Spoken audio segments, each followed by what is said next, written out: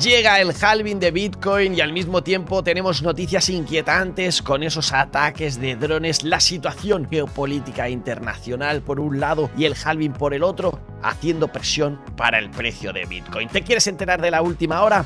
Pues atízale al botón de like y comenzamos. Crypto News con Rodrigo Arnedo, criptomonedas a tope. En un día feliz estamos a puntito de caramelo para celebrar que el halving ya está aquí, que se reduce a la mitad esa recompensa que obtienen los mineros y que por lo tanto cada vez entra menos Bitcoin circulante por ahí diariamente y eso, si aumenta la demanda y se reduce la oferta, puede hacer que el precio de Bitcoin se vaya para arriba. Felices y contentos, tanto como Chico Cripto, que nos dice que debido al halving, quizá estemos dentro de 12 meses por encima de los 300 mil dólares. Un solo Bitcoin, más de 300 mil. ¿Te mola la idea? A mí me encanta. Nos lo ha contado en su último vídeo, que te dejo el enlace en la descripción si lo quieres ver completo, pero te resumo aquí en español las principales ideas. Básicamente, que el precio de Bitcoin puede estar en un año en 319.920 dólares. ¿Por qué? Porque esto es la media de los halvings anteriores, donde estábamos pues con un 547% después del halving de 2020 y con un 285% después del halving de 2016. Así le ha salido esta cuenta y te pone también otras en el vídeo. Aquí resumidas, ¿qué pasará con el precio de Bitcoin un mes después del halving, seis meses después del halving y un año después? Un mes después, en la parte un poco más aburrida, la parte más puede subir, puede bajar o puede quedarse en lateral, porque en los momentos anteriores eso es lo que ha ocurrido. Aún así, una media de subida del 4%, que bien estará, aunque pues seguramente nos va a dejar un poco fríos, en plan, quiero que siga subiendo, pues te tienes que esperar. ¿Cuánto? A lo mejor seis meses. Seis meses después del halving de media, aumentó en el pasado Bitcoin un 79%. Eso nos llevaría por encima de los 100 mil dólares en seis meses. Fenomenal. Y un año después nos esperamos 12 meses y aumentamos de media ese 416% y nos vamos por encima de los 300.000. ¿Por qué no? Pues a lo mejor sí o a lo mejor no, tenemos muchísima volatilidad, porque estos son buenísimas noticias, pero también tenemos malas. Por eso el precio de Bitcoin se ha ido para abajo, rompiendo esta línea anterior que dibujábamos como posible suelo y nos hemos ido a visitar los 59.715. Ya asoma esta línea de aquí de los 57.000 y algunos nos hablan de por lo menos 55, si no 50. En lo peor de todo, en las negativas, pues esa tensión internacional, Irán, Israel, esos drones que afectan por supuesto a Bitcoin, a las bolsas y al dólar. El dólar que empezaba a subir otra vez, las bolsas que no sabíamos qué iba a ocurrir. ¿Por qué? Porque una vez más, como ocurría la vez anterior y ya te contábamos, esto pasaba fuera de horario del mercado. Tenemos en este caso la noticia aproximadamente las 0.40 y daros cuenta cómo caía Bitcoin, porque como ya vimos, si el resto de mercados está cerrado en ese momento y la gente entra en pánico, pues la gente vende lo que puede vender. Si el mercado de Bitcoin está abierto, pues entonces se ponen a vender Bitcoin. Ahí vemos ese momento exacto y cómo el precio de Bitcoin se iba para abajo, Estados Unidos cerrado en ese momento, y al abrir y verse que bueno, que no era para tanto, que en Estados Unidos estaban manteniendo la calma, el precio de Bitcoin volvía a irse para arriba. Al menos esta es una lectura posible que se puede hacer.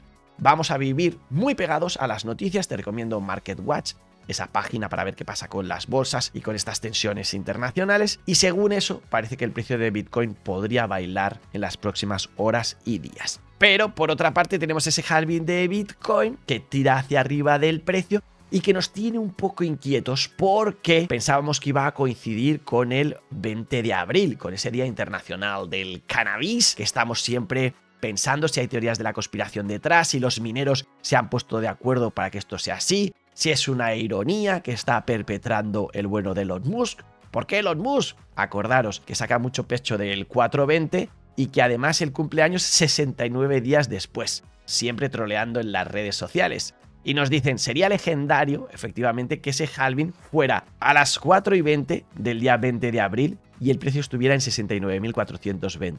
Ojalá que sí, y que no sea al revés, que estemos dentro de 69 días en el día del cumpleaños de Elon Musk en 42.000 o en 4.200. Vamos a rezar porque no sea así y veremos a ver si vivimos en una simulación y veremos a ver si Satoshi Nakamoto es Elon Musk y lo acaba confesando algún día. ¿Crees que esto es posible? ¿O como yo, crees que es Halfini? ¿O quién crees que es Satoshi Nakamoto? Déjame tu comentario en la descripción. Lo que sabemos matemáticamente es que en 101 bloques, 100 bloques aproximadamente vamos a tener ya ese halving. Veremos si es el 19 o veremos si es el 20. Y aprovechamos hoy para aprender más cosas del halving. Sigue a BTC Andrés en sus redes sociales o en su canal de YouTube y aprenderás cosas técnicas muy curiosas como por ejemplo, ¿sabías que se pueden minar bloques vacíos? Que nos decía que acabamos de minar un bloque vacío, oremos, pues oramos. ¿Y por qué sucede esto? Te lo cuenta en un hilo que tenemos aquí en Twitter y yo aprovecho para enseñarte dentro del enseñamiento. Es decir, que existe una cosa que se llama Thread Reader App en Twitter, donde coges el link del hilo de BTC Andrés o del que te dé la gana, que quieres ver más cómodamente, que no hay pasando de tweet a tweet, y entonces le respondes a cualquier mensaje a la gente de Thread Reader App, los mencionas a ellos y pones unroll, un rol, y ya pum, te va a sacar algo como esto de aquí, mucho más cómodo de leer que el hilo de Twitter. ¿Y qué aprendemos aquí? Básicamente sobre bloques vacíos, que esto ocurre, que ocurre más o menos una vez cada dos semanas de media. ¿Y qué ocurre? Porque los mineros se ponen a toda velocidad a intentar resolver ese sudoku. Por lo tanto, como puede ocurrir incluso en milisegundos, podría pasar en 10 minutos, podría pasar en yo que sé cuántas horas o días. No hay un tiempo exacto en el que el bloque se tiene que mirar, es cuando se resuelva el sudoku. De media estamos en 10 minutos y para eso se ajusta la dificultad pero podría ser más o podría ser menos, puede ser incluso segundos. Por lo tanto, pues incluso antes de meter ninguna transacción en el bloque, ya están intentando resolver, ya están intentando resolver. Y de repente cogen y resuelven. Pues allá se fue sin las transacciones. ¿Por qué harían algo así? Porque igualmente se llevan la recompensa de los mineros, ese Coinbase, ese Bitcoin que entra fresquito y nuevo en el mercado. Además, nos cuenta en este hilo muy interesante que para aquellos tan preocupados en el gasto energético con la minería de Bitcoin, pesa tanto o cuesta tanto energéticamente un bloque vacío como uno que esté llenísimo. Curioso asunto, como curioso es también que le preocupe a la gente el calentamiento global que generas por utilizar minería de Bitcoin, pero si esas mismas GPUs las utilizas para jugar al LOL o al Valorant o al que te dé la gana, eso no importa, o tampoco te importan los aires acondicionados y otras hipocresías que tenemos por ahí fuera. Así que a ver, con este ajuste, ¿crees que hay una conspiración entre los mineros para que exactamente ocurra el 420 o ocurrirá el 19 para dejar a todo el mundo chafao? Y aquí tenemos el precio de Bitcoin el día anterior, en los anteriores halvings, rojo, verde y rojo, para que no sepas lo que toca ahora, de momento, según grabamos el vídeo, estamos yéndonos para arriba. Lo que también es bonito de ver es como en 2012, el día del halving, estábamos en 10 dólares, en 2016 estábamos en 650, en 2020 estábamos en 8.800 y en 2024 vamos a estar en 60 y pico mil. Lo cual, pues significa, uno, que no paramos de subir cada cuatro años y dos, como nos dice aquí, que estamos añadiendo cada vez un cero más. Qué bonito será verlo si esto sigue así dentro de cuatro años con otro cero. Max nos dice que se parece mucho el escenario actual al que tuvimos en 2016 y por lo tanto, pues a diferencia de los anteriores, no tocaría pepinazo del tirón, sino un poco de aburrimiento buscando pues un poco el suelo para Bitcoin antes de empezar la siguiente subida. Eso sí, tenemos máximo histórico en las búsquedas de Bitcoin halving el Google, que bueno es para la adopción, como también que en los metros en Tailandia tengamos anuncios del halving de Bitcoin. Adopción total. Vamos Bitcoin, vete para arriba. En el momento de la grabación, por encima de los 65.000, menuda mecha tenemos aquí. Qué día de volatilidad, noticias buenas y noticias malas. Y ojo también, porque nos dice aquí CryptoCon, que es que claro, nos hemos mal acostumbrado, porque normalmente en los subidones tenemos caídas del 30%. Y en esta ocasión todavía no hemos caído tanto y mal acostumbrados, cuando cae un poquito, pues nos agobiamos mucho. Que no pasa nada, nos dicen los expertos, que está bien que tengamos correcciones del 30%, que es sano para el mercado. O a lo mejor no tenemos esa corrección ya anymore y lo que tenemos es el patrón que te contaba en el último vídeo, que nos lleva por encima de 100 mil dólares en mayo, ¿te quieres enterar? O ya se te ha olvidado, pues mírate el último vídeo donde te lo contaba. Recordar también que otro argumento que tenemos para que Bitcoin esté cayendo es que algunas personas se ven obligadas, forzadas a vender criptomonedas para pagar sus impuestos en triste fiat En Estados Unidos terminó la temporada y por lo tanto quizá necesiten esa liquidez y sea normal que esta semana y la que viene pues tengamos esa presión de venta. Y ojo cuidado también que no se te olvide que en España tenemos que cumplir también con nuestros impuestos y en otros lugares del mundo y para ello tienes CoinTracking la herramienta definitiva para mí, para llevar el control de tus criptomonedas y luego poder hacer los impuestos. Enlace en la descripción, 10% de descuento si hoy o en el futuro necesitas una de las versiones de pago de la plataforma. No te lo pierdas y tampoco te pierdas esa encuesta que hemos hecho de mano de CoinTracking, nuestros partners, que quieren saber y nosotros también, súper interesante, dónde nos estamos informando de criptomonedas. Utilizamos redes sociales, utilizamos un sitio concreto en internet que tú conozcas, o otra cosa, un youtuber, a lo mejor famoso. Bueno, pues si me haces el favor, pon un comentario en este vídeo o vete a votar en la encuesta de Twitter o en YouTube, que también la hemos puesto. Pero si tienes un segundito, además de votar, ponme exactamente cuál es esa página web o cuál es ese youtuber o cuál es ese podcast o cuál es la manera que tú dices, esta es la mejor manera en la que yo me estoy informando porque así compartimos las mejores fuentes, las utilizamos, nos aprovechamos de ellas para seguir aprendiendo de los mejores. Gracias a todos por vuestra colaboración, solo no puedes con amigos, sí, todo el mundo a votar y a contarme dónde os estáis informando. El mercado en verde, nuestro color favorito, aún así, un poco generando de vez en cuando estas M's de McDonald's que te dicen, todavía te queda para trabajar, espérate al futuro, ¡oh no! O tener un pepinazo loco de una criptomoneda, de una bolita como esta de aquí que acaba de suceder con un 1655%. Madre mía con las bolitas, qué miedos nos dan o qué avaricia. Aquí tienes avaricia total con el indicador de miedo o de FOMO loco que tenemos, que seguimos en gridis. Y es que lo que nos da miedo de verdad es el dólar, es el fiat. Aquí veis la impresora. Aquí tenemos a Mariano, pues sí, me voy a hacer unos cuantos billetes más, ¿por qué no? Que lo están imprimiendo directamente con sus máquinas, que esto no tiene ningún sentido. Bitcoin es la solución. Y si no, pregúntaselo a los japoneses. El yen japonés está colapsando más rápido que una moneda que se invente Sam Bankman-Fried desde la cárcel. Fijaros en el lado izquierdo de la imagen. Años y años de interminable impresión de dinero para comprar la mitad de la deuda de su propio país. ¿Os suena de algo? Estados Unidos. Esa fórmula se llama quiebra cuando la hacemos nosotros, pero cuando la hace un país se llama política monetaria y gasto fiscal.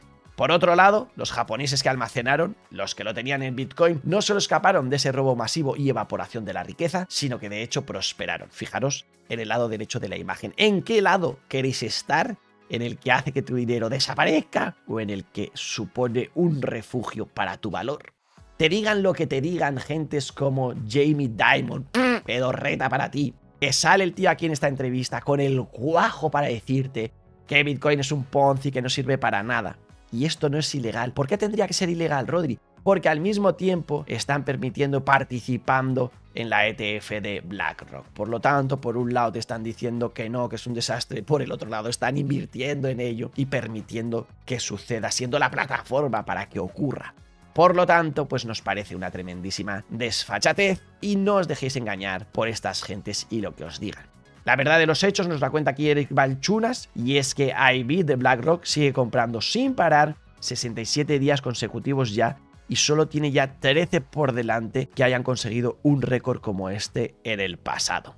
Además sacan un nuevo anuncio en el que intentan convencer a más clientes de que sigan comprando. La fiesta no termina. Tampoco para Mr. 100, que sigue comprando, ya ha comprado más combinadamente que BlackRock y Fidelity. ¿Quién hay detrás de Mr. 100? ¿O qué país hay detrás? Lo sabremos algún día. Nosotros seguimos vigilantes aquí en Crypto News. También para poder darte algún día la noticia feliz de que Gary Gensler se ha ido a vivir a Málaga a pescar y leer libros. Me dio un síncope ayer cuando me encontré este tweet en el que dice Gary Gensler, ha sido un honor servir como presidente de la SEC durante estos últimos tres años. Gary Gensler ha jugado con mis sentimientos. Parece que estuviera ya renunciando al cargo, que se largara por ahí. Pues no, solamente para sacar pecho de su gran gestión. Gary Gensler, tres pedorretas te llevas hoy, una por cada año que has estado en la SEC. Márchese, señor Gary Gensler, márchese, que decían en aquí no hay quien viva. Preferimos que sea el presidente de la SEC un perro con sombrero como Doge with Hat, que es la criptomoneda que más sube entre las principales.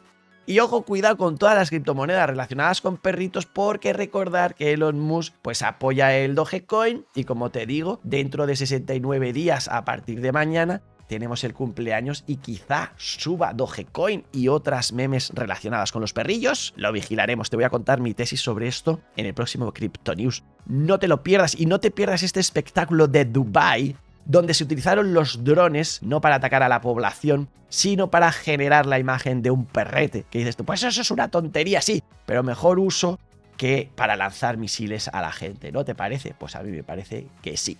Ojo, cuidado además, los que creáis que van a subir las altcoins, porque de momento sigue la dominancia de Bitcoin en máximos históricos de los últimos tres años, y mientras Bitcoin siga así de fuerte, la alt season, la temporada de las demás, todavía no comienza. No te olvides, te quedan unas pocas horas para participar en el sorteo de una billetera fría Cold Wallet de Trezor Model One. Enlace en la descripción. Simplemente tienes que dar el like, retuitearlo y taguear a dos colegas y participas. Además, tienen novedades, una nueva característica en el Trezor Suite, que es ese lugar en el que vas a poder, una vez que tú tengas ya tu Trezor, ver qué tal le va a tu portfolio. Ahora tenemos un nuevo menú en el que vemos de forma más clara nuestras criptomonedas y nuestras ganancias o pérdidas. Lo que no vas a hacer es perder las criptomonedas, tengan el valor que tengan, si eres tú el propio dueño de tus criptos con una billetera fría. Y te recuerdo también que tienes enlace en la descripción para todavía aprovecharte con Bybit de la promoción de 15 euros con Airalo y además los 25 euros, por supuesto, si eres un usuario nuevo con nuestro enlace y además colaboras con nosotros. Muchísimas gracias. Y si te gusta conseguir tokens y conseguir dinerete, no os perdáis el último vídeo. Nos hemos ido a la calle con Over the Reality y nos hemos puesto a mapear Madrid, a conseguir todas esas recompensas. Enlace en la descripción, no te lo pierdas, mapea ya, tienes un código exclusivo por ver estos vídeos para participar en la fiesta desde el principio y Ethereum, que despide el programa de hoy todavía en las líneas más importantes que vigilamos para contarte qué ocurrió, si es soporte o lo pierde en el próximo programa. Eso sí, una reflexión final. Nos dice el CEO de Telegram. Tengo muchísimo dinero. Hace más de 10 años que tiene millones y millones de dólares en criptomonedas y en fiat y no se compra Lamborghinis y no se compra casas ni nada. Le pregunta al entrevistador. ¿Pero por qué? Dice, porque mi prioridad número uno es la libertad. No las cosas, no las casas, no los coches, la libertad, la libertad financiera, que es lo que perseguimos aquí en este canal. No tener que preocuparnos del dinerete y poder disfrutar de nuestro tiempo, que como dice Elon Musk es la moneda definitiva, no el dinero, el tiempo. Y también el amor, el amor que tiene este gatico por su dueña y como no, hay Dios mío, dame caricias, que te quiero, pues yo también. Ay, no necesitamos dinero, solo amor. Love is all you need. Amor y seguir aprendiendo de inteligencia artificial en nuestro canal IA News y de criptomonedas aquí, por supuesto, en Crypto News con Rodrigo Arnedo. Feliz Halloween a todos. Hablamos de las repercusiones de este día tan importante en el próximo programa. Salud, dinero, amor, la fiesta en paz, criptomonedas a tope y lo mejor está por llegar. ¡Adiós!